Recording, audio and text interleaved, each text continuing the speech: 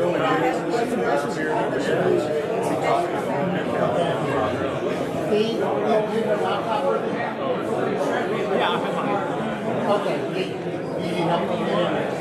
Is this just like an HDMI? Let me know right here. I got it, yeah. Thank you. How are you, Ida? How's that doing? Morning, then.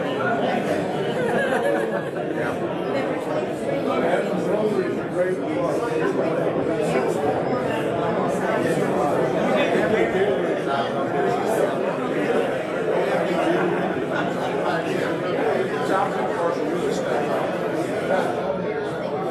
retired.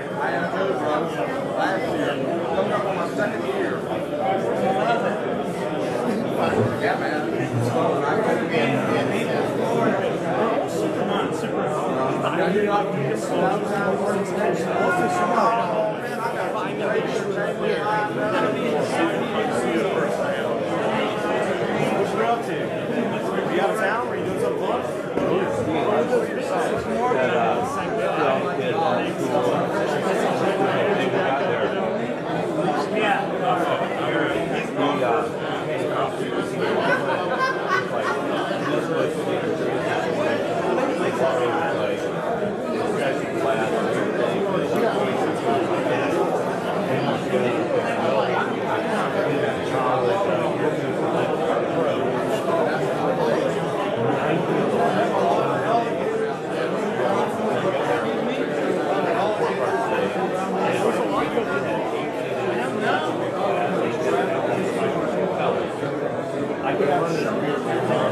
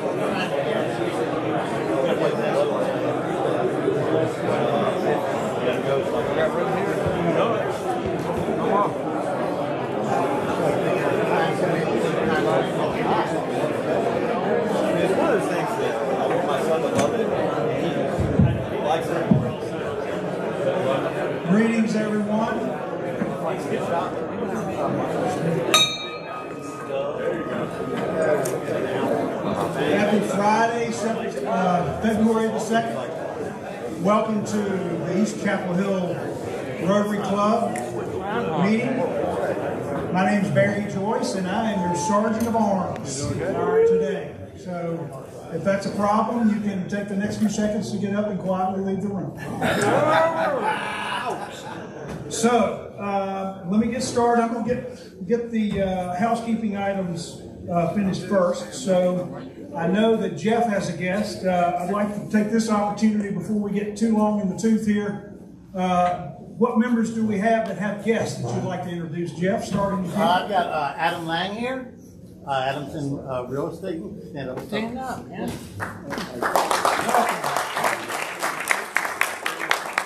Anyone else? Raise your hand and, is, is that our only guest today? More guests. Do we have any uh, visiting Rotarians? Any visiting Rotarians? Oh, that's All right. All right, today, uh, here's the fine basket. So the fine basket is if you have a Y in your last name, if you have a four in your social security number, or if you can remember what your North Carolina driver's license number is. You got a couple dollars in it. Uh, At this time, we will, uh, as we're getting our dollars ready, uh, we're trying to figure out what I just said. Um, I'm going to uh, open our meeting with a We'll let him go around when blessing. comes back. We'll- And I'd like to start with uh, mentioning someone near and dear, close to us and close to the Carolina family. I'd like to start our blessing with a moment of silence for Eric Montross and what he meant to this community, what his family means to this community beyond the basketball court. And I'm blessed to have had the opportunity to know him when he was a player. And uh, he's just a fine human being that are in short supply these days. So uh, just 10 seconds of a uh, moment of silence for Eric and his family. Anybody else in your life that may uh, you may have lost, and then I'll have a, a brief blessing.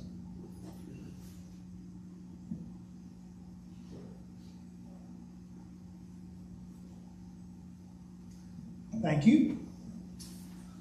Okay, our blessing is Heavenly Father.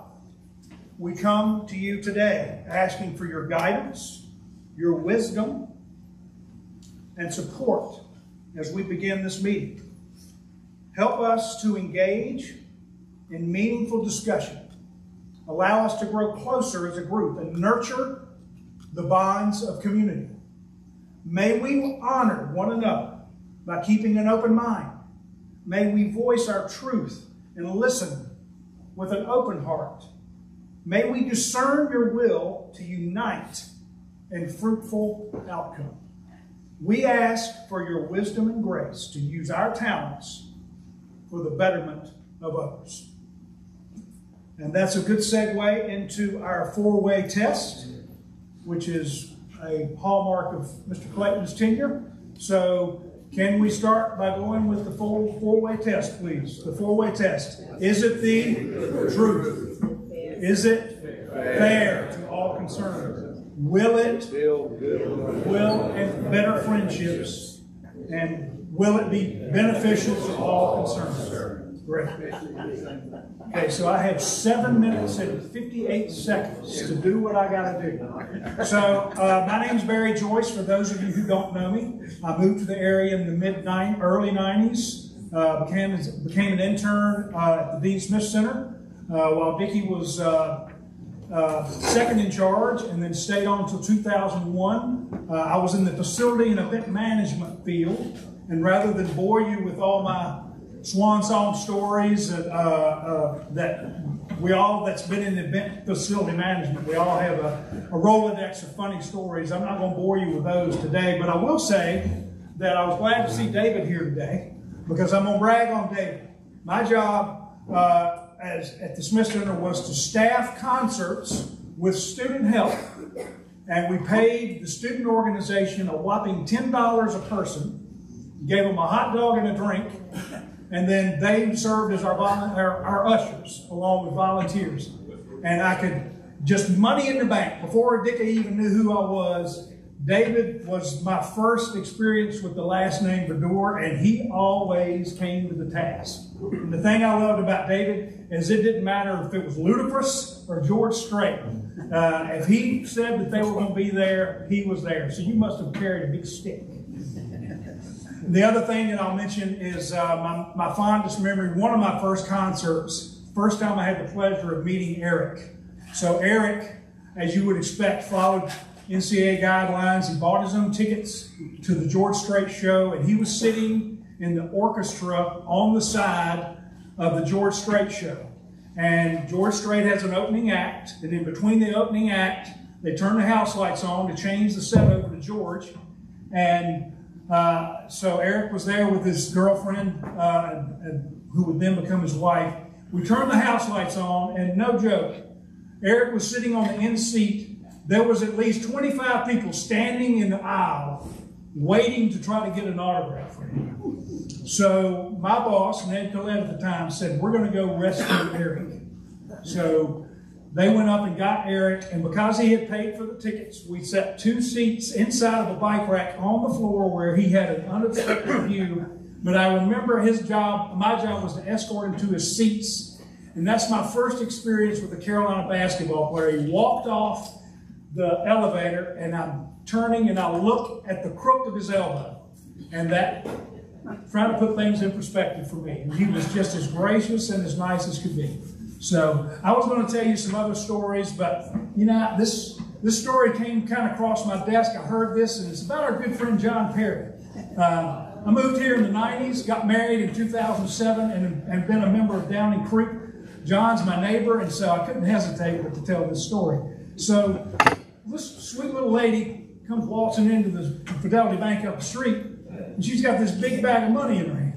And so she sees the receptionist and she says, uh, yes, I'm new to the area. I've done a lot of research on the local financial institutions and the executives, and I understand it, that Mr. Mr. John Perry is the presiding executive here at the branch. And the young man said, Yes, ma'am, he is. So, well, I have a large amount of money that I would like to deposit. And she pointed to the bag of money and she said, I need to see Mr. Perry immediately. The young man says, Man, Mr. Perry is a very important man. You can't just show up here and expect to meet with him. She said, Son, this is a large amount of money, and I want to bring my business to this bank because of Mr. Perry. So he looked back there and said, well, just hold on just a second. So he comes back a short time later. He said, Ma'am, you're in luck. Mr. Perry's here, and he'll be glad to see you. So she walks in, and John is sitting at his desk, Natalie attired. And she said, My name's John Perry. It's nice to meet you. She said, Oh, I know who you are. She puts her big bag of money on the desk. He said, How can I help you today? She said, I'm here to make a large deposit. And I would like to open a savings account in your bank. I've done a lot of research here on this at this institution. I've seen your social media profile. I am used to, to looking at executives like you, and I want to deposit my money here because of you. Well, how much money do you have? He, she said, I have $180,000. So she takes that bag and dumps it out.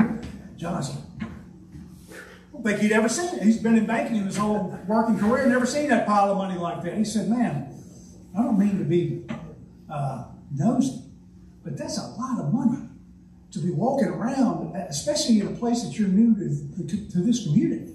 So how did you, if you don't mind my asking, where did this money come from? How do you make, make your money? She said, I like to place bets. I like to place bets, John. I said, what, what kind of bets? She said, well, like I said before, I research my, my, uh, my bank institutions because, you know, I have to be very trusting. And I saw your profile. I understand that you're originally from Virginia, that your dad was a commandant of the ROTC at the University of North Carolina. You are a long-standing member of this community. You have three children. You're very active in the community, a member of the East Chapel Hill Rotary Club. And I see this profile, and I notice that you're a big Tar Heel fan, very committed to the Tar Heels. Well, you know, I've seen people like you before, and I'll be honest with you. I think there's more to it than what your social media. In fact, I think you're a Duke fan. I think you're, I'm so sure that you're a Duke fan. I'm guessing $25,000 will tell me that you got a D on one butt cheek and a blue devil on the other, tattoo. Johnson, You're gonna bet me $25,000 that I have Duke Blue Devil tattoos on my butt? She said, yeah. Okay, I'm in. She said, okay, well, just one stipulation, $25,000 is a lot of money. So I would like to have my attorney with me. John said, that's fine. She said, okay, well, tomorrow at 10 a.m., we're going to come to your office and you're going to prove to my witness and I, my attorney and I, that you have Duke tattoos on your butt. He said, have at it. Yes, ma'am. So John goes home and he starts to thinking, I'm nervous here. 25 grand's a lot of money, but you know, Bailey's got the wedding coming up. A lot of money going into that wedding. Boy, it sure would help if I. So he, he went and examined himself in the, in the mirror in his bedroom, making sure that there was no blemishes or splotches or, or birthmarks or anything he, he didn't remember that could remotely look, be looked at as a Duke tattoo. And he actually, actually called Stephanie over, and she thought he was crazy. She looked at him, no, no, no. So he said, you know what? It's a lot of money. It'll go a long way. There's no way that I'm going to lose this bet. So I went to bed, and sure enough, the next morning, 10 o'clock in the next morning, she comes in right on time. 10 o'clock, she's got her her. And first thing she does is she says, okay, just repeat the bet. Duke Blue Devil on one cheek and the D on the other. Said, yep, that's it. Okay, let it rip. So John mooned her. And she said, now, $25,000 is a lot of money. So if you don't mind, she broke out her reading glasses and she got some latex gloves on. I'd like to do a little closer examination from, a, from an arm's length, if you don't mind, just to make sure. I want to make sure that I can look at all. John's like thinking to himself, man, this is absolutely crazy. But it's 25 grand. 25 grand that will help me cross the finish line of Bailey having the day of her dream. Absolutely. Whatever you need. So she gets over there and she puts her gloves on and she's doing her thing. And finally, John's sitting there just nervous and just awkward. All of a sudden he hears this. Turned around and, his, and her attorney's over here doing this. Bang, bang, knocking his head against the wall. She's like, what the hell is wrong with your attorney? She said, oh, don't mind him. I bet him $100,000 that at 10 o'clock this morning, I would have the senior vice president of Fidelity Bank's ass in my hands.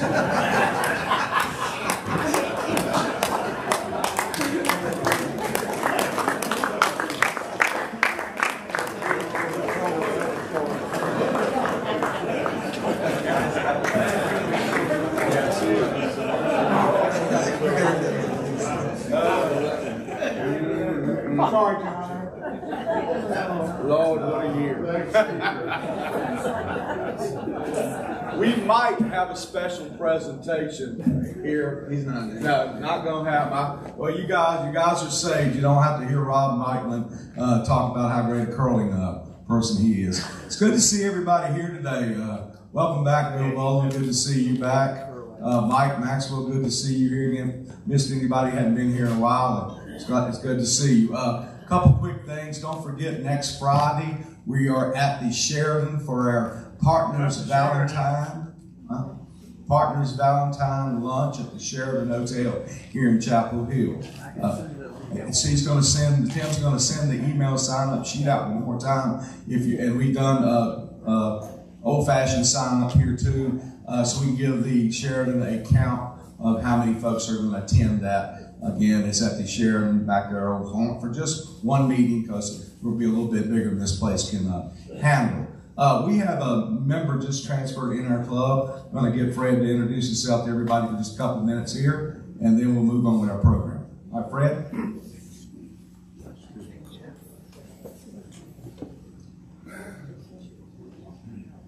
No Smith, you snuck in on me. You ain't been here since we moved to this place. It's good to have you here, buddy.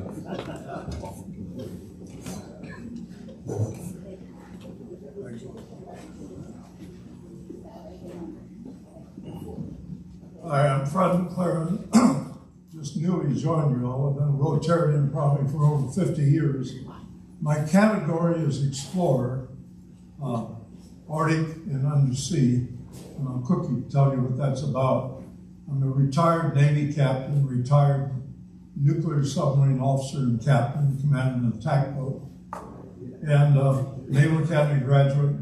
My first career, I spent uh, 26 years in the Navy, 24 submarines. I was among the first 50 to be selected by Admiral Rickover uh, on five different attack submarines.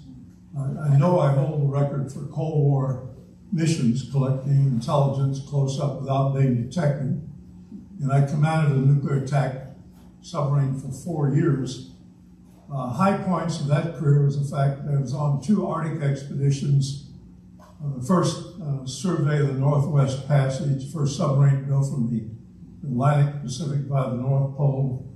And then I commanded uh, Queenfish in 1970 when we surveyed uh, for the first time in history uh, 3,500 nautical miles uncharted of the entire Siberian continental shelf under very thick ice, doing most of that 20 feet above the bottom clearing the ice overhead by 30 feet. Of course, you can see what it did to me here. and on that first Arctic trip I was on in 1960, believe it or not, I, I'm going to take an extra minute here, played the first game of baseball at the North Pole. And that baseball is in the Baseball Hall of Fame. We situated a pitcher's mound at the North Pole, lined up the bases. So if you circumnavigate, you hit a home run, you circumnavigated the globe.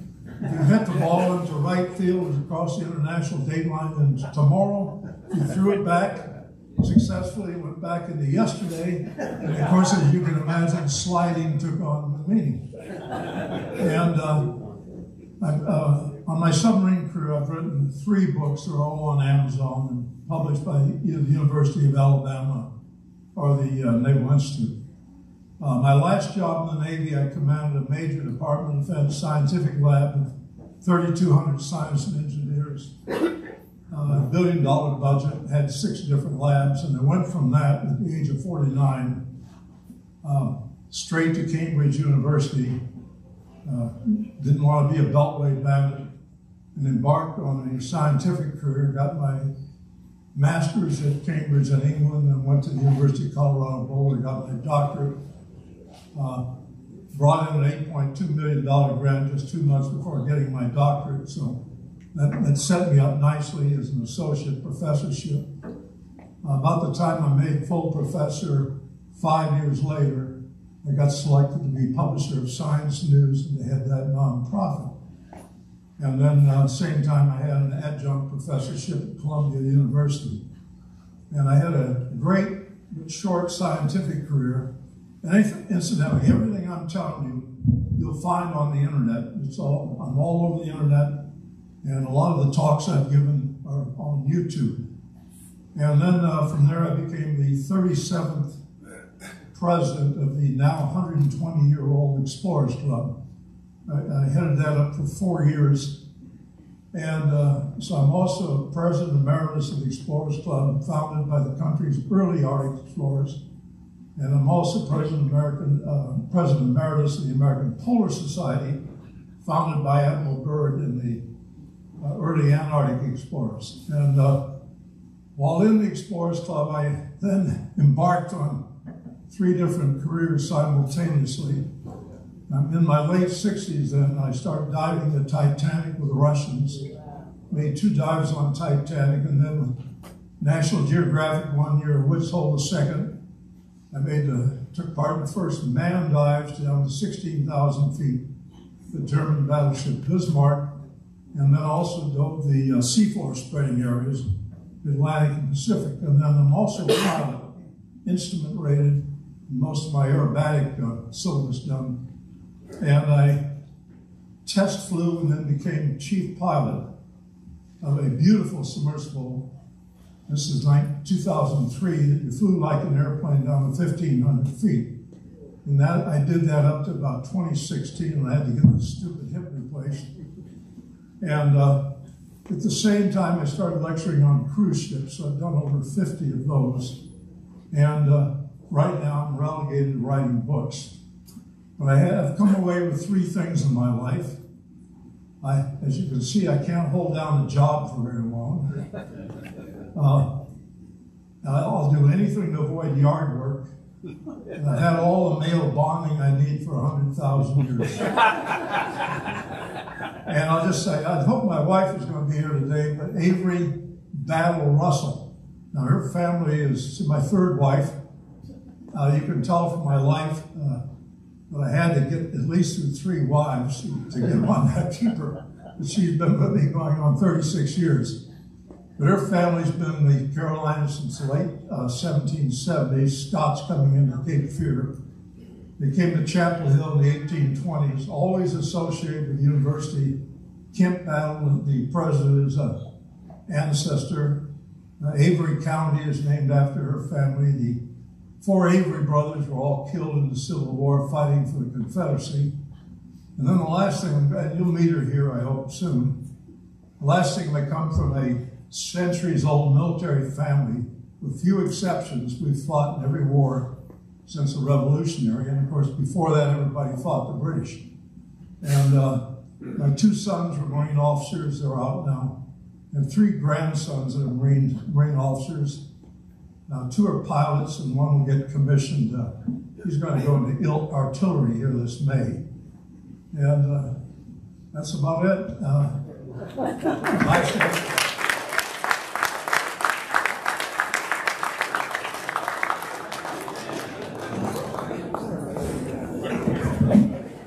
All right, I get to introduce our program today. Uh, we uh, switched up on everybody after we had such a fun week last week.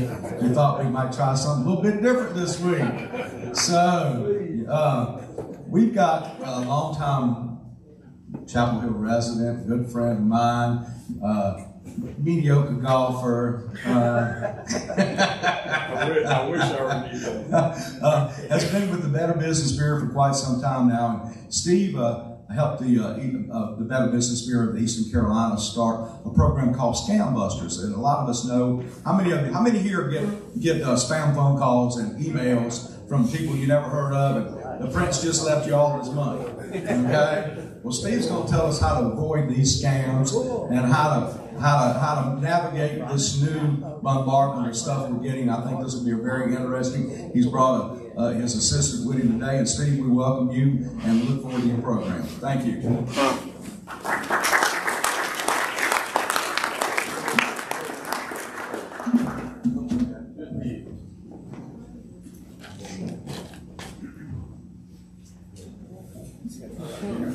So, uh, Fred, I think you're the second that I'm aware of graduate of Naval Academy who was a submarine commander and a, and a member of his club. John Beer being being first.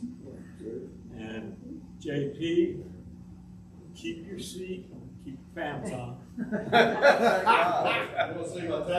No, no. So, uh, before I get started, I'll say two years. Microphone. Oh, yeah. Yeah, Four scored, so, Two, two years ago, uh, during Hubert Davis's first season as coach of the Tar Heels, the Boo Birds came out in force until late in the season when uh, you know, we had a magical run through the first half of the NCAA championship, and, and that pretty much quieted everyone. Then you need somewhere to sit that seat here, let's I, I, I'm not going to be using this for long.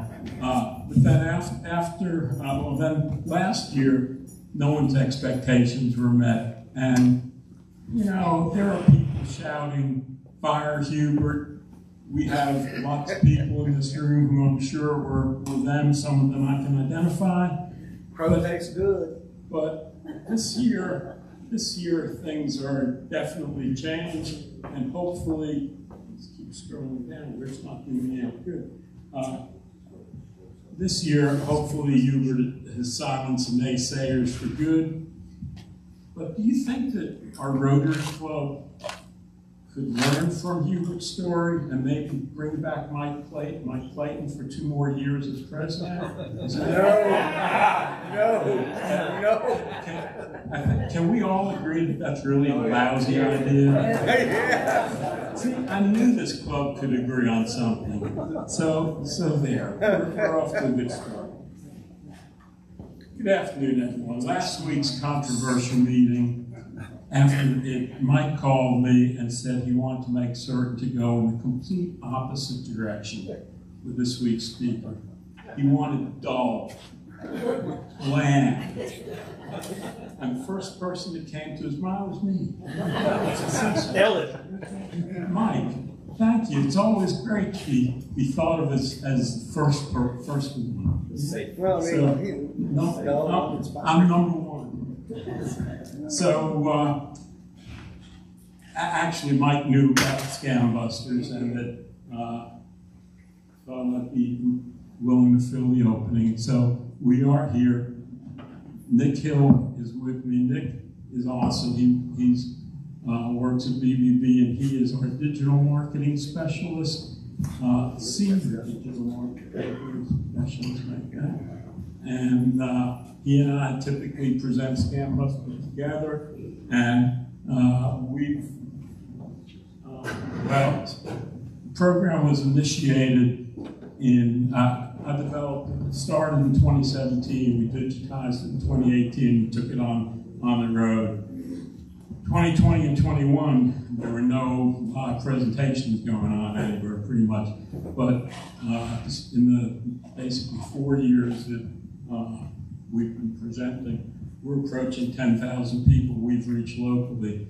Other BBBs have adopted the program and are some are using it even more than us. So we're proud of it. We, we think that it's helping because scams are a big problem, as everyone should know. Just how big, it's estimated that over $50 billion with a B is lost annually in the US.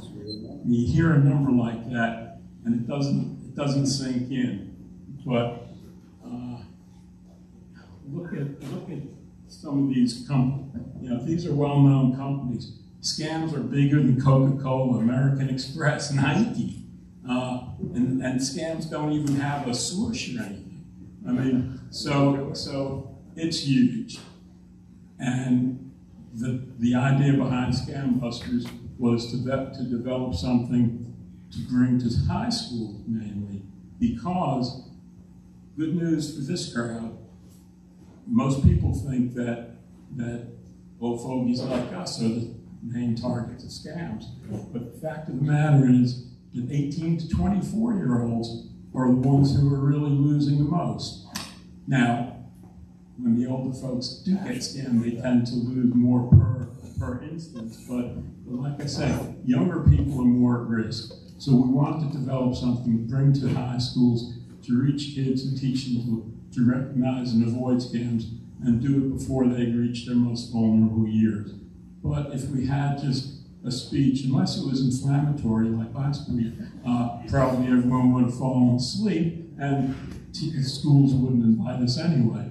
So develop the game, Scam Busters, and it's worked out great. The- There's competition because we divide the classes into, into teams. Uh, there's a prize at the end I'm displaying for the winning team members. And, uh, uh, you know, we have fun with it. So without further ado, I want two tables to volunteer as my teams for today. Uh,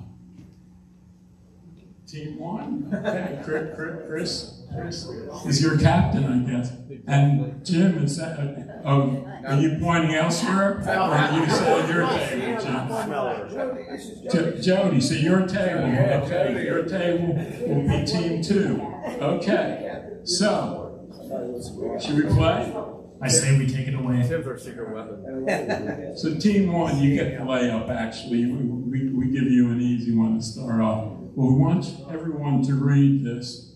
And tell us if you think it's a scam or legitimate, and and discuss them with your team why you think these things.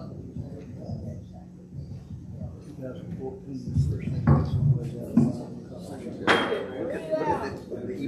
From Alfred Mississippi. Oh, yeah, everybody, uh, Okay, so team one, do you have you have a It's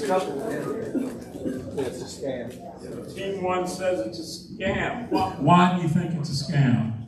look at the from email, look at the bottom copyright 2014, uh, and then where they're trying to say they're located, which. Okay, well, point out some things I agree with and a couple things I don't necessarily, because copyright can last, I mean, for, for a number of years. But he said it, it's, it's who it came from. He says it's from Apple Inc. What's the matter with that? Oh, wait a second, look at that email address. Yeah. That's not an Apple email address, is it? We got it over here. You got it over there? Well, you have to wait your turn, you team two. So we actually, we have some, point out some other things on this one. No one listens to most of the scammers are overseas, which is why there's so few arrests. Uh, But also, English is typically a second language, so, so uh, there are lots of spelling errors or, or grammatical errors in these communications. Unfortunately, that's changing with AI, so we're in deeper doo-doo. Can I say doo-doo in front of this crowd? Yeah. Um, so, so, um, so, yeah, suspension world. there should be a space. We, we didn't even highlight down here, email is misspelled. But the one that kills me is Apple Music. That's their product name, Apple's product name, and they always capitalize the A in Apple and the M in music.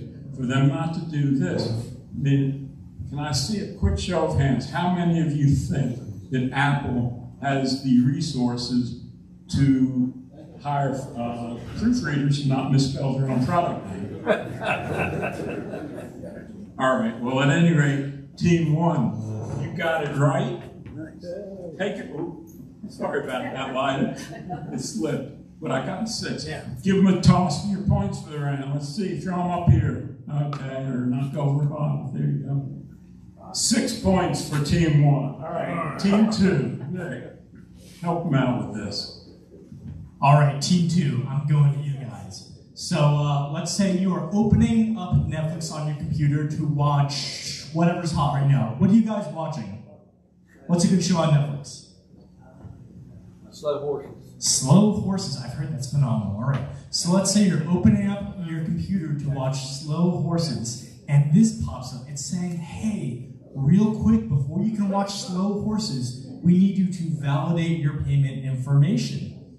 So I want you guys to take a look at this, uh, and especially take note, it says secure server at the top with a lockbox icon. The same thing is also down there at the bottom.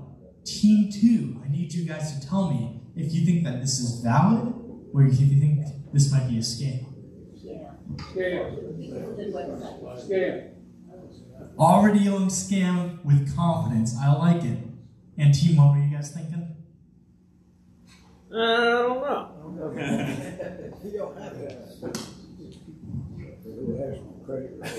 Can somebody on team two tell me why they think this might be a scam? didn't even say anything.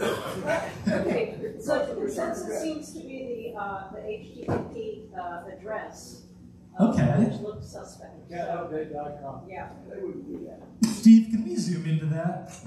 Yes, I can, So, whenever you check out a new website or open a new page, it's a good idea to look first at the URL at the top because the URL is going to tell you so many things about whether or not a site is safe. And we're going to start here at the very left of it where it starts with HTTP.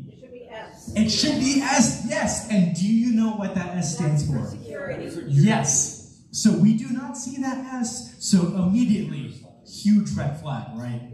Now, another thing I want to point out, let's back it up, Steve. Let's go back out for just a second here. I drew everybody's attention to these lockbox icons, but those don't mean anything, all right? those are just there to throw you off. The only lockbox that would matter was if there was one in the URL on the left side, which would again signify that it is a secure site. So we don't see that, strike one. We don't see the S in HTTPS, oh, strike two. I saw a hand over here. You got strike three for me? No, I have, I have a question. Yes. So I, I've heard about that S, I get the S thing, but who controls the S and what confidence do we know that someone can't spoof an S? Ooh, ooh, I'm really glad you brought that up because we get to that later in this presentation uh, with students typically when we have more time. Uh, so there are third parties that will verify a company's security and will grant them that S and grant them that lockbox. However, because the internet's grown so fast, uh, you know, there's some companies that will grant that, and they're not always, you know, fully vetting their employees. Maybe somebody slips through the cracks. So what I tell people generally is you should look for that lockbox and you should look for the HTTPS, but that's not necessarily a guarantee it's a safe, site. Now, if you don't see those, then that's a really bad sign. But if you can piece that all together, along with some other things that we talk about throughout this presentation, it's going to be a good sign that it is a safe website. So, strike three on here. The last thing I want to point out in this URL is I want you guys just to look at this and tell me, is this a good looking URL? No, it's really ugly. And it's ugly because they snuck in all this junk between Netflix and .com. This is no longer a Netflix domain, you guys. This is accountupdate.com. I don't know what that website is. I don't know what they're going to do with my information. I don't know if that is safe. Now, let's say instead it was netflix.com slash, you know, those numbers and characters, then that'd be safe. That'd still be Netflix domain. But that right there, that's. Team two, yeah. Cody, Cody.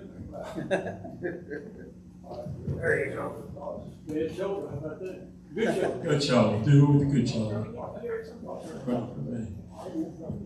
Steve, Steve. One. Oh. Uh, they got six off. All tied. Bonus points. All right, all tied after the first round. Team one, we're back to you. You're on, uh, you go on. You want to do this one? Yeah, I'll talk about this one because social media is just a great place, you know, and scammers love social media. So this is an example that I pulled uh, from Twitter. I know they call it X now, but I am still going to call it Twitter. Um, it's Elon Musk talking about this brand new cryptocurrency, this great opportunity.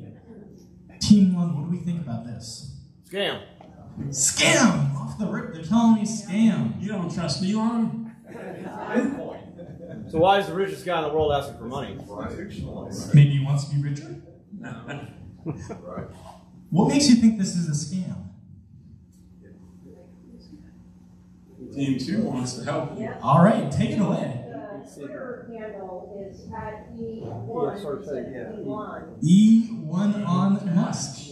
Okay. Anybody else see anything wrong with this one? All right, I Come think. on, our high school students are f- farther along than you guys. Well, I think they see stuff like this a lot because I think what I'm going to tell you guys about this example is getting more and more common. Yes. He's only got two retweets and seven quotes. For, for somebody like him, would be thousands. Yeah, he'd probably be able to manipulate those numbers. Everyone hear that? Yeah, repeat, repeat. uh, Yeah, uh, Team One pointed out that if you guys can see here, he has two retweets, seven quotes, and 14 likes. The owner of Twitter. Yeah. Well, on his left hand, he has six fingers. Yeah, that picture was copied and pasted. The picture was actually not copied and pasted. The picture was made using AI. In fact, everything about this example, from the text to the image, I generated using AI. And this is just an example that I wanted to show you guys how scammers are using AI to make themselves look more realistic, all right? They're trying to impersonate this well-known and sometimes respected figure to gain people's trust. And, you know, they've done so by generating his likeness. But even though AI may seem big and scary, there are some things you can look at to tell you if it's going to be a fake.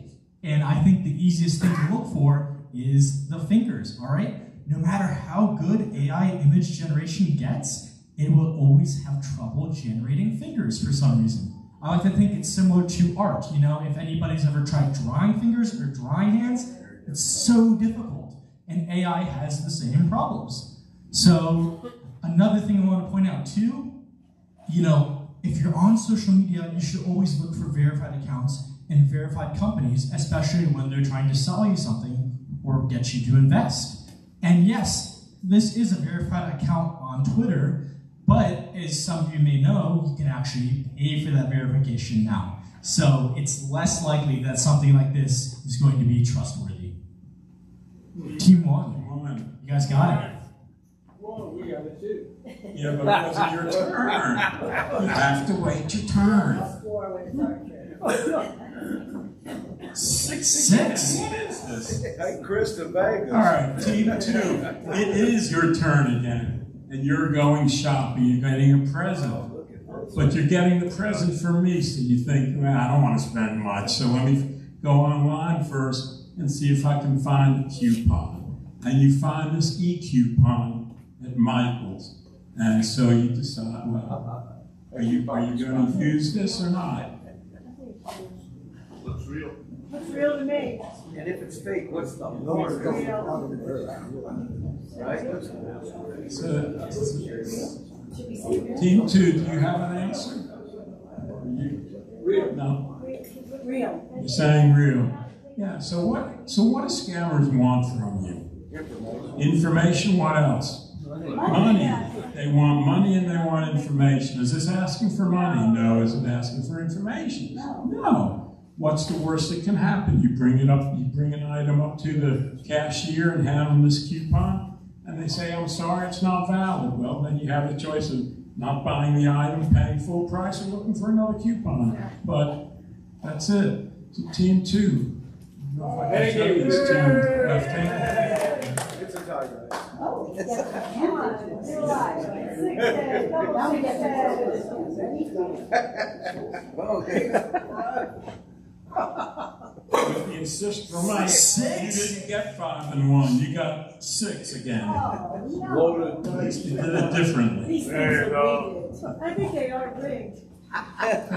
Team. Uh,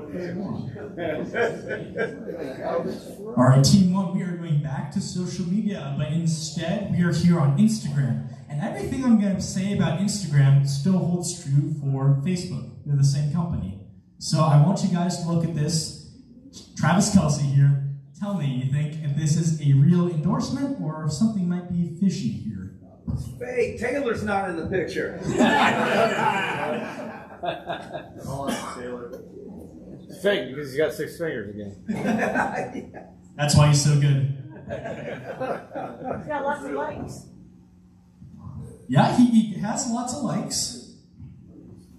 Where's the account? First, I don't, I don't see the name of the actual account. So the account at the top is Killatrav, and he has actually made this post with a company called Drink Accelerator. And if you guys want to do some research, he's tagged them here, so you can go check out their page. And when you check out their page, it looks like this.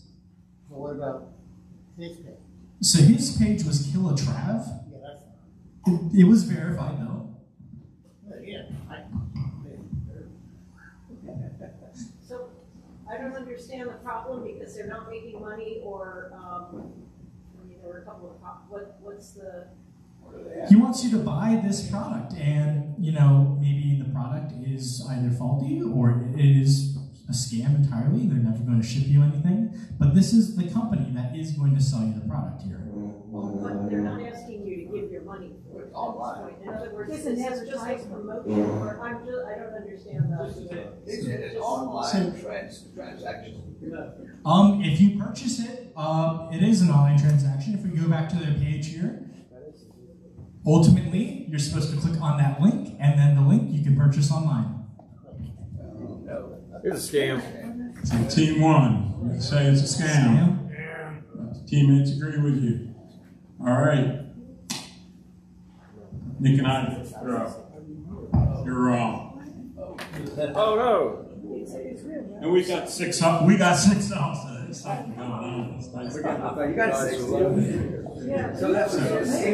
This is not a scam. Thank you. Th- Yeah, this is a real post from the real Travis where he's partnered with a real company.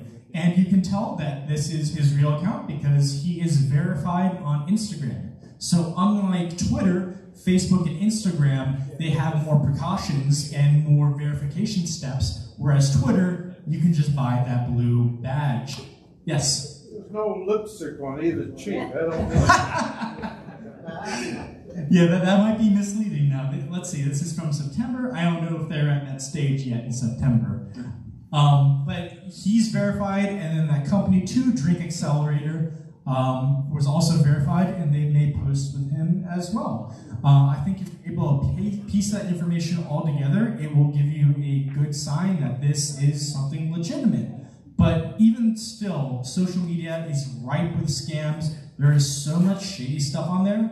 I think the best thing to do is, even if you are interested in purchasing Drink Accelerator, I would recommend going outside of the app, going outside of Instagram, Googling the company, finding their website that way, just so you alleviate any possibility of there being a scam. And on that note, going back to the first couple we showed you, Apple Music and Netflix, when you get a communication from any company like, like that that you're not expecting, it's always best just to log into your account how you normally do and check check there.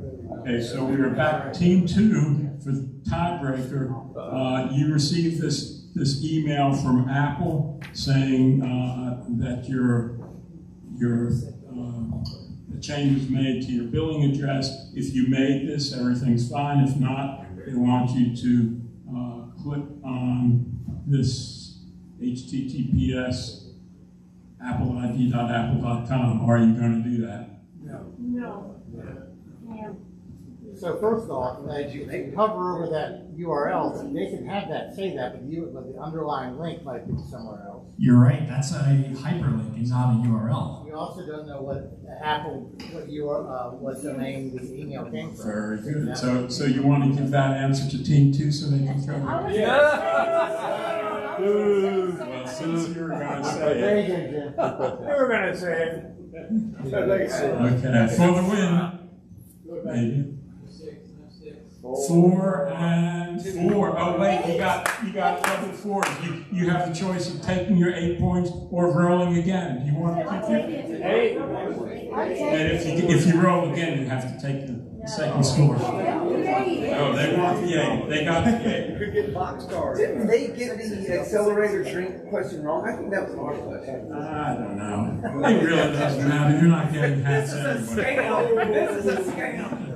You're, you're not getting hats anyway. So, uh, Timmy Payne. So tell me again, why that one's a fake? So yeah, so what we can do here is, Steve, can you go to the next slide? And I'll explain this real quick. So, Jeff nailed it. Yeah, so they were disguising two things here. So they made a hyperlink that made it look like it was taking you to an Apple website, but instead, when you hovered over that link, it shows that it's taking you to app.le. That's not Apple. Same thing with the email at the top. It says it's from Apple, but you can make your email say that they're coming from everybody. And once you hovered over that sender, it showed you that it's coming from what is Apple ID? That ID at apple.co? I don't know what that is. Um, and we use this example just to show people how important it is that you hover over a link before you click on it. Uh, let's say you're on a, uh, a, mobile device, a phone or a tablet, you can long press and it will show you where that URL is taking you. So always hover the link, over the link, always long before you jump into a new website. Um, Sorry, can I, can I just? Yes. Well, To me, what was suspicious was that they say if you do not make these changes, you will believe an unauthorized person has access to your account. You should change your password as soon as possible. They would ordinarily say, please let us know your security has been breached. They wouldn't say, go into your account and change your password, So, right? so Joe, that might be the case today. This was actually copied from an email I received when I when I made a change. Uh, but uh, but yeah. Okay, so We interrupt this program to bring you a special message. I want to depart from Scam Busters and talk instead about our Rotary Club. I've been a member of East Chapel Hill Rotary since 2000, which makes me a relative newbie compared to uh, some of the folks in, in here, but, but I've been, I've seniority over most of you. Uh, when I joined the club, I think there were about 100 members, membership was hovering at that point, including very few women. Uh, now we have over 150 members. I'm glad to say a good percentage of our newer members are female, though we still struggle with diversity. There's certain things which have always stood out about East Chapel Hill Rotary. I think if you ask any of the long-standing members to enumerate them, they would say irreverence, fun, humor, great speakers, present, present company excluded, uh, a feeling that members are your closest friends no matter how well or little you know one another. Social functions, irreverence, being the young person's club. Thankfully, since Mike Fields became a, a member two years before me, fantastic charitable programs, especially on the international front. And did I say irreverence? Uh, those things make East Chapel Hill special, or why people join, and certainly why members look forward to every Friday and remain members. But I've noticed our club changing the past few years, and it breaks my heart. As far as our being the young, young person's club, look around you. Look at me. Uh, so maybe I should be struck from the list. Used to be you wanted to take notes during Sergeant at Arms presentations to help you remember all the great punchlines. They're often the highlight of the meetings. The past few years, a change has occurred, which in no way is the fault of the increased female membership nor the individual serving in the role. Barry did a great job today. But there are few people who have pushed a more sensitive agenda on our club, claiming it was for the sake of the delicate ears that these mainly have. Uh, well, when I first joined this club, one of the evening events, which was a staple of the club back then, was joke night. Members typically met at a restaurant or bar, took turns telling jokes, and finally those who were there voted to select the best joke. First time I attended, female member finished in second place. I think the only reason she didn't win was because some of the men were too embarrassed, you know, in her presence to admit they got her joke. At least I think they got it. Then several years later, uh, at a meeting, a male sergeant in arms caused quite a ruckus uh, when he told an admittedly very off-color joke. He was reprimanded and the entire club was warned.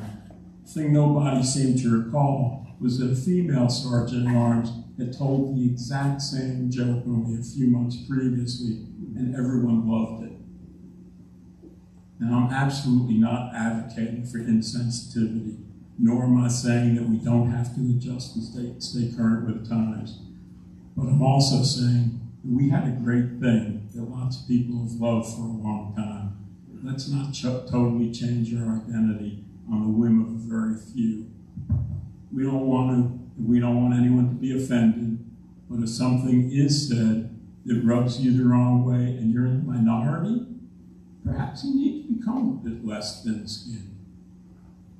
Having said that, it seems censorship has been imposed recently upon our sergeants at arms, but not on our speakers.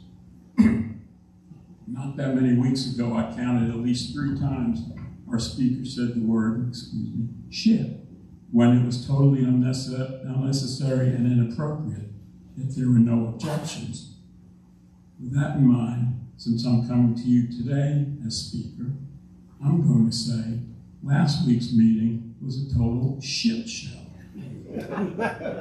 I think President Mike and, and, Speaker Chair Nick were both blindsided by the direction last speaker, last week's speaker took, and I don't, I don't blame them a bit for what happened. But someone suggested the speaker, likely knowing full well the nature of the speech. Politics and religion have long been frowned upon topics for our speakers because members have differing views, and those speakers do not build goodwill and better friendships. Thank you.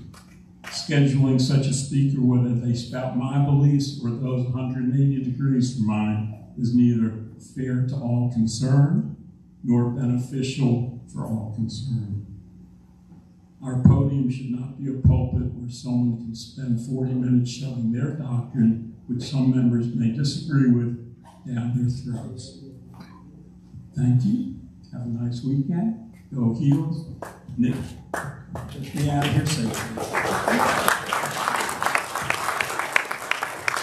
Thank you, Steve, for an interesting program. I know I enjoyed it a lot. I've got two things to say. The meeting's about over, and go to hell, Duke. Y'all have a good weekend. Remember, next weekend at the Sheraton, bring your partners. I'm looking forward to see all the lovely ladies dressed to the hilt. I'll even be wearing red. Bus your table, bus your table. We don't have a cleanup service. Please put your trash in the trash can. Have a great weekend. Well there.